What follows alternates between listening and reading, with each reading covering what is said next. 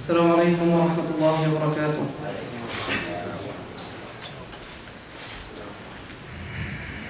الحمد لله لا أبغي به بدلا حمدا يبلغ من رضوانه الأملا ثم الصلاة على خير الورى وعلى ساداتنا آله وأصحابه الفضلاء أشهد أن لا إله إلا الله وأشهد أن محمدا عبده ورسوله صلى الله عليه وعلى آله وأصحابه أجمعين.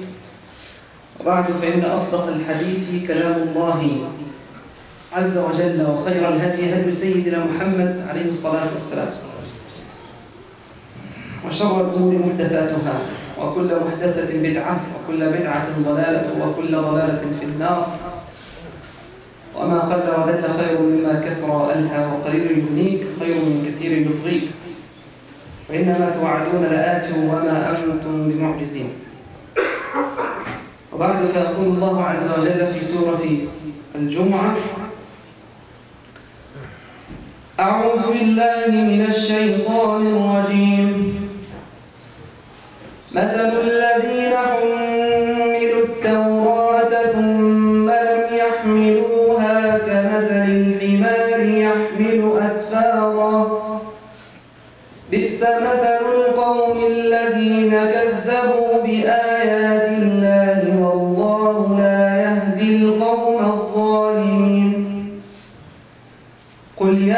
Uh...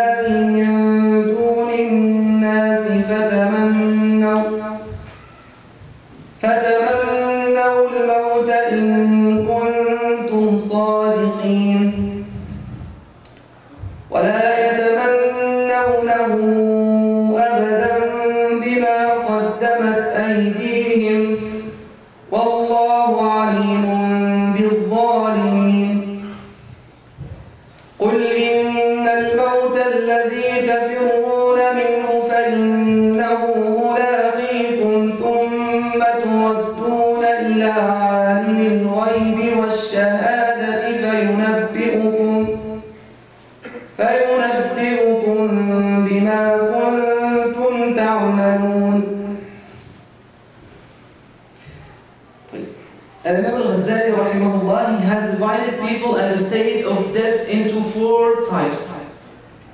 And today, inshallah, we'll try to talk about these four types and everybody here has to classify his own self under which category we are. We ask Allah subhanahu wa ta'ala to make us among the best of them. Allahumma ameen. But before talking about the people at the state of death, we have at the beginning to go through the sequence that Allah subhanahu wa ta'ala has gone through. He started, when he wanted to talk about death, actually he started talking about the Jew. When Allah subhanahu wa ta'ala has given them the scripture, Allah has given them the Torah, but they didn't act according to the Torah.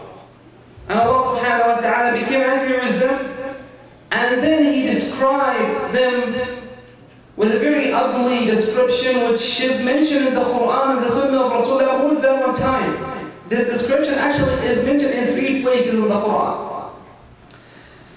قال الله عز وجل, the meaning, the parable of those who were given the Torah and they didn't follow it is like an ass bearing books. It is like a donkey. They are like donkeys carrying some books, some piles of books over their backs. And if a donkey is carrying some books over his back, he doesn't actually know what is inside, right? That is the exact exa- example of those who has been given the Torah or the Gospel or the Quran, but they don't follow the teachings of Allah subhanahu wa ta'ala in these books. And this description is mentioned in two other places in the Sahih Sound Sunnah of Rasulullah. There is a hadith, so the first time when Allah subhanahu wa ta'ala described some people as donkeys, which is not very good, it's not something good, actually something ugly. But we have to mention this just to avoid it. May Allah protect us, Ya Rabbil Alameen. The first time is when some people are given the teachings of Allah through any scripture and they don't follow the teachings of Allah. They actually have the knowledge, but they don't act upon it, so they are like donkeys. The second time is in Muslim Imam Ahmad. قال النبي صلى الله عليه وسلم من تكلم يوم الجمعة والإمام يخطب فهو كالحمار يحمل أسفارا. ومن قال له أنصت فقد لغى. ومن لغى فلا جمعة له. صلى الله عليه وسلم. He said while the Imam is speaking on Friday, he is giving the khutbah, nobody is allowed to talk. And anybody he talks to his brother, while the Imam is giving the khutbah, he is like a donkey carrying some books over his back. And if anybody wants to forbid what is evil and to ask him to keep quiet, he has spoken, he has spoken now unnecessarily and his prayer is not actually accepted by Rabbil Alameen. So it's a very serious issue, right? And still until today, we have people talk while the khutbah is going on, which is a very serious issue. It might nullify your Jum'ah. The third time when Allah subhanahu wa ta'ala some people as dogs and in some, I mean, as donkeys and in some other narrations as dogs actually في صحيح مسلم أن النبي صلى الله عليه وسلم قال أما يخشى الذي يرفع رأسه قبل الإمام أن يحول الله رأسه رأس حمار صلى الله عليه وسلم You know, sometimes when we pray and somebody is in a hurry, he might go to the sujood before the imam, right? Sometimes he raises his head before the Imam. He says, رَبَّنَا وَلَكَ الْحَمْدِ Even before the Imam says, Allah liman hamida. Those people actually, they have committed something haram. It is, is, unanimously among the oldest scholars haram. To go before your imam. There is no difference. There is no difference in this regard. All of them said it's haram. And why did Allah describe them as donkeys? Because anyways, if you are in a hurry, you will not make salam before your imam. So you're not supposed to make any movement before, before him because you will not make salam before him. And if you make salam before him, your prayer is not void.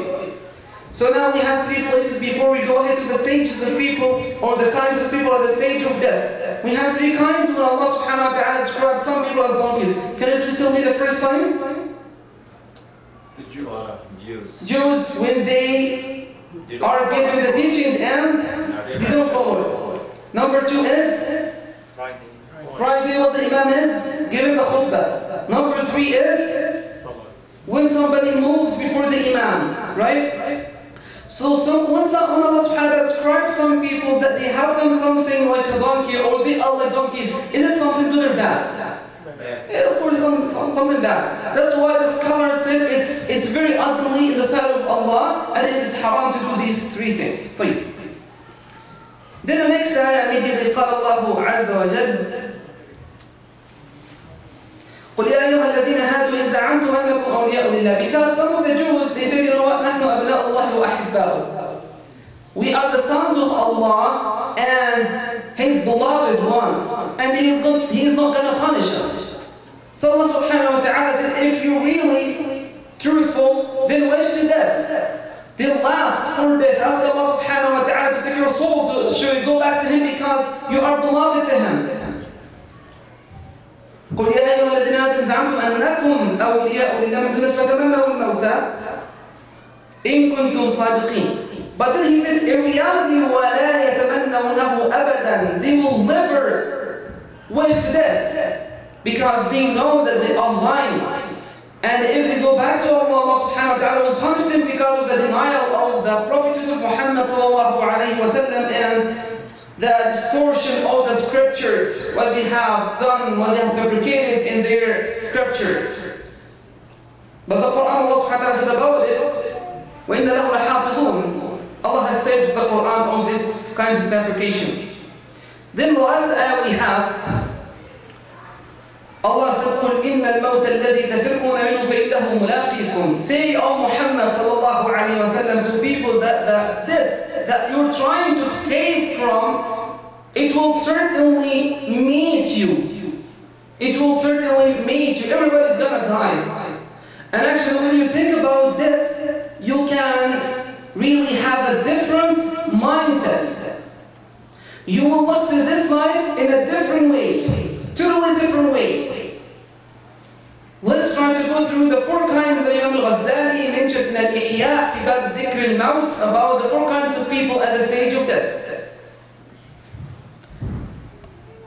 He said, الفريق الأول The first kind of people are الغافلون There are those who are engrossed with this world, so that remembering death only increases their distance from Allah subhanahu wa ta'ala. قال الله عز وجل اقترب للناس حسابهم وهم في غفلة معرضون Their reckoning draws nigh while they turn away heedless. You know, there are some kinds of people when you talk about death, they always become upset. What are you talking about? Talk about life. Why are you talking about death? But actually, the Nabi sallallahu alayhi wa sallam said, أكثروا من ذكر هذه اللذات. Like, he encourages us sallallahu to mention the death frequently. So we can, we can have different mindset about this life. You can take care of your wife, of your children, of your education, your job, that's totally fine. But at the same time, you have the akhirah in your heart. The dunya is in your hand, but it's not in your heart. So the first kind of people are al-ghafilun, they are heedless, they don't even think about the akhirah, but they, furthermore, they get upset when you talk about the akhirah. Don't talk about this topic, let's talk about something that makes us optimistic. We don't like these negative topics.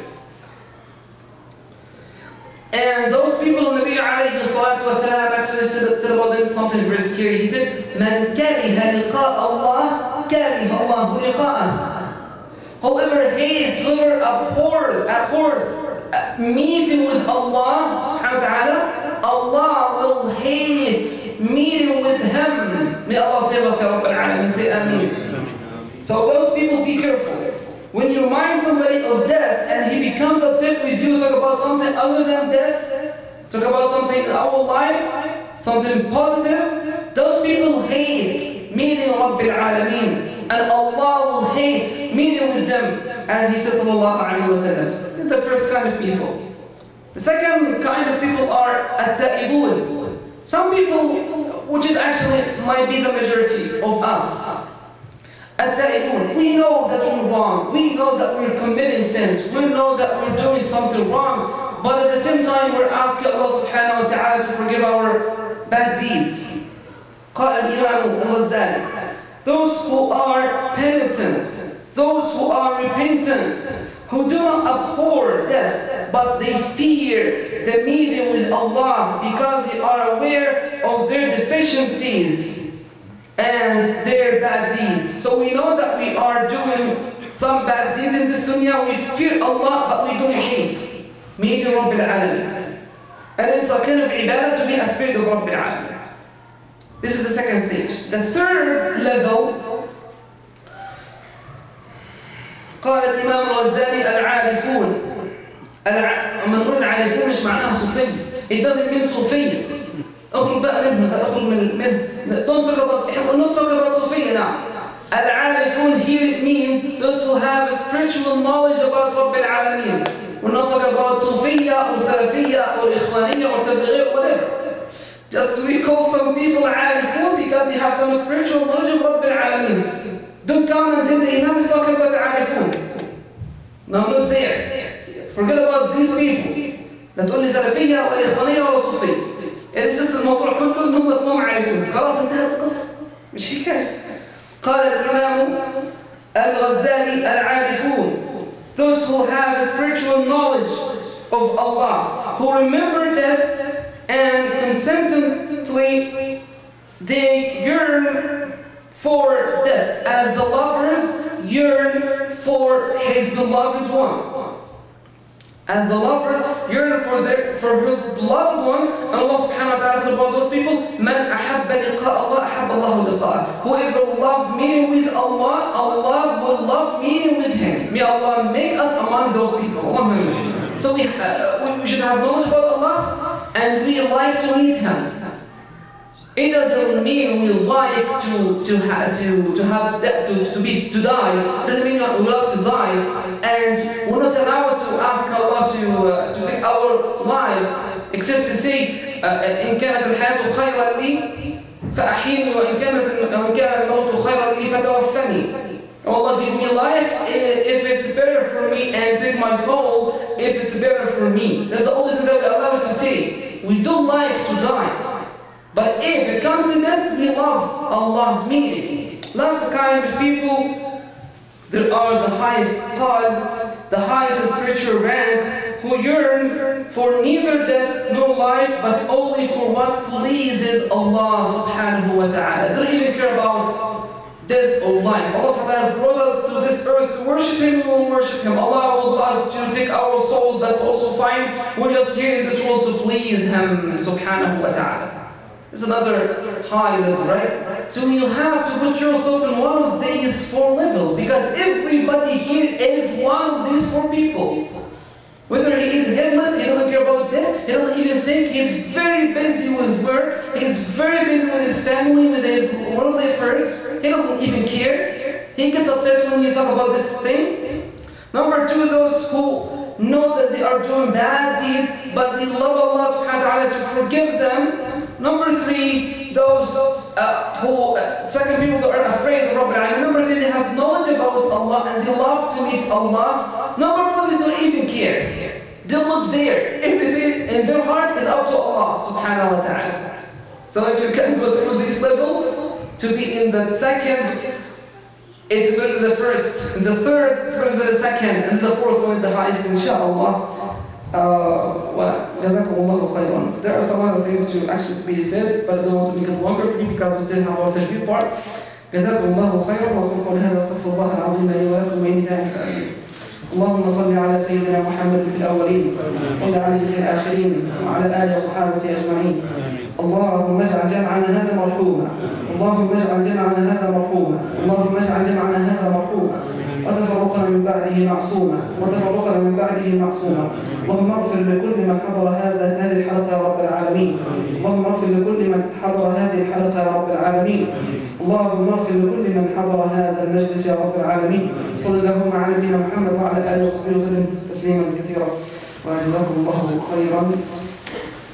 السلام عليكم ورحمه الله وبركاته